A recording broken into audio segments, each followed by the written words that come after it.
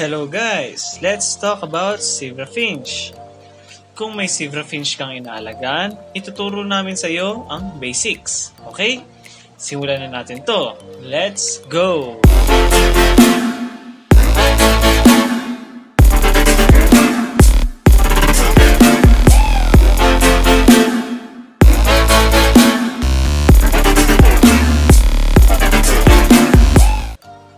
Ano ba ang zebrafinch? Ang zebrafinch lang naman ay yung sikat na maliit na ibon dahil sa maraming klase nito at mababa ang presyo. Itong maliliit na finches na ito ay halos ilang dekada nang inaalagaan to ng iba't ibang tao hanggang ngayon.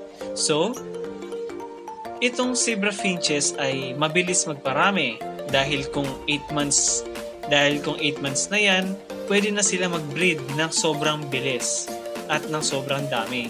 Okay? Hindi mo na kailangan din bigyan sila ng maraming oras, yung mga zebra finch, dahil hindi ka na nila kailangan lalo na kung binigyan mo na sila ng cage at pugad sa dahilang hindi sila sanay sa tao. Tulad ng mga maya-maya dyan sa tabi-tabi, lumilipad agad kapag papalapit ka na. So, ganun ang ugali ng finch, ng mga zebra finch. Kaya nilang buhayin sarili nila basta magbibigay ka lang ng kailangan nila. Okay? Siyempre, hindi naman sila mabubuhay kung ikukulong mo lang na ikukulong mo lang tapos hindi ka magsusustento. So, bigyan mo lang sila ng mga kailangan nila tapos sila na bahala bumuhay sa sarili nila or sa mga kapartner nila. Maliliit lang ang finch pero may mga iba pang finch na maliit pa sa kanila. Kaya at kaya sila tina, tinawag na zebra finch dahil sa itsura at pattern ng kanilang kulay sa leeg at sa dibdib na para bang zebra talaga, black and white. Black and white stripes. Then, gender naman ang pag-usapan natin. Ang pag-gender ng male zebra finch, halos karamihan kasi ng male zebra finch ay kulay gray. Tapos yung mata nila para bang teary eye, parang nag parang paluha, ganun. Then yung pisngi ay matingkad na pula. Sa mga ano to ha, male to ha, sa mga male zebra finch. Yung yung pisngi nila o yung tinatawag na patch ay matingkad na pula. At yung tuka ay kulay pula din. Kapag matured na yun na, ayun. So, pag matured, gano'n na magiging itsura nila. Then sa female zebra naman, female zebra finch, pagbasehin nyo lang yung kulay ng pisngi o yung patch na tinatawag. Basta medyo maputla yung patch ng female kaysa sa male. Okay? May pagka-orange. Okay, okay? Then, marami ding mutation ang zebra finch. Merong pied, fawn, cream, white, at madami pang iba. Mahirap na isa-isahin, okay?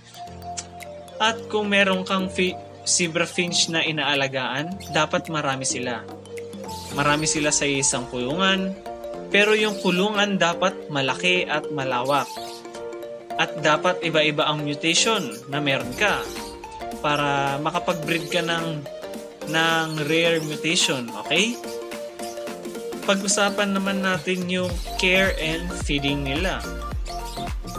So, ayun nga, ang zebra finches ay kahit hindi mo nabigyan ng mahabang oras para pagbisihan mo, ganon, dahil kaya na nila buhay yung sarili, sarili nila, basta magbibigay ka na lang ng kailangan nila.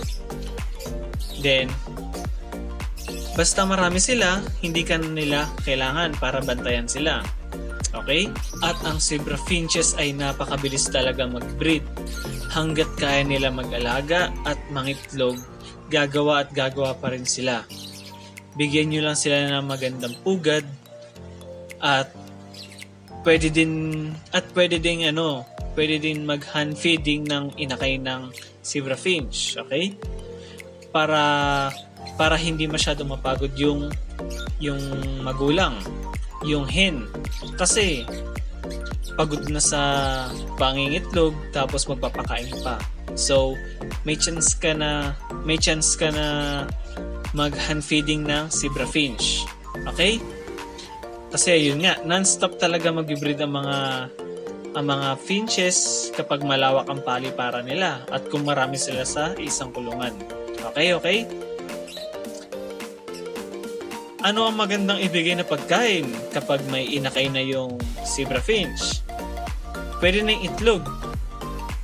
Pwede na yun. Maglaga ka lang ng itlog, durugin at hati-hatiin.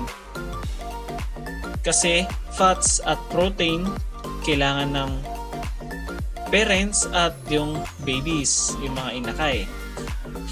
Pwede din naman yung mga formula basta may budget ka. Okay? Pwede din sa kanila yung gulay at mixed seeds.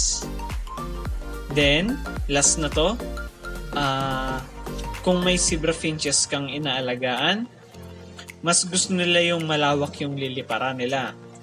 Magiging masaya sila na na kung bibigyan mo sila ng kailangan nilang malawak na paliparan.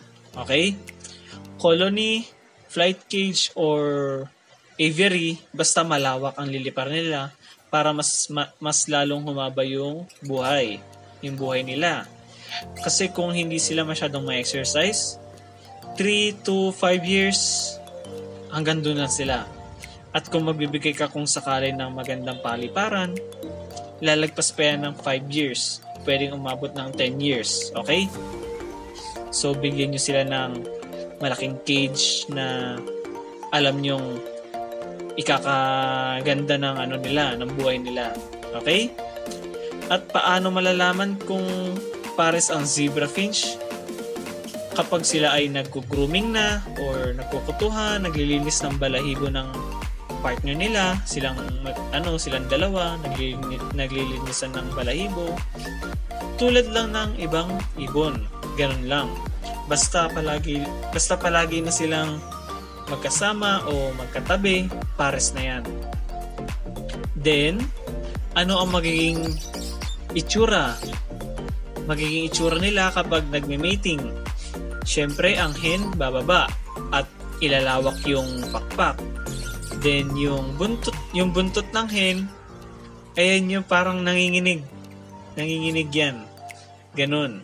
So, yung yung male, papatong lang at alam na, magtatanim lang yan. Ganun lang ang trabaho ni male.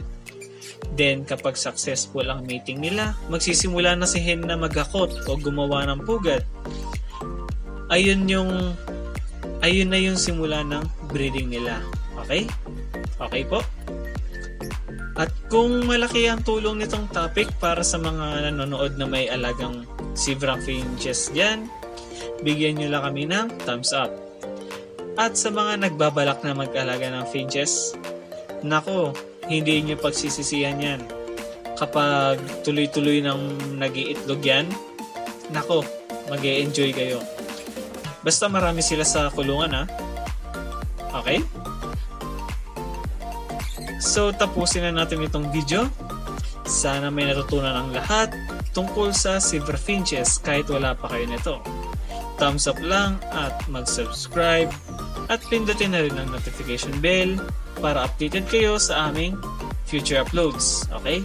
Mag-ingat po ang lahat at happy breeding sa inyo.